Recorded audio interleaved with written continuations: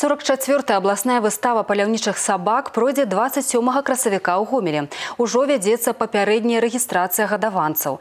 Праводзіць яе кінолог па адрасе ў гомелі вуліца Тэльмана, дом 24, кабінет нумар 15 на чацвёртым паверсе. Гэта робіцца ў першую чаргу для падрыхтоўкі каталога выставы. Зарэгістравацца можна будзе і ў дзень правядзення мерапрыемства на стадыёне Гомсельмаш. Аднак у такім выпадку сабакі не змогуць прэтэндаваць на жэтоны і медалі.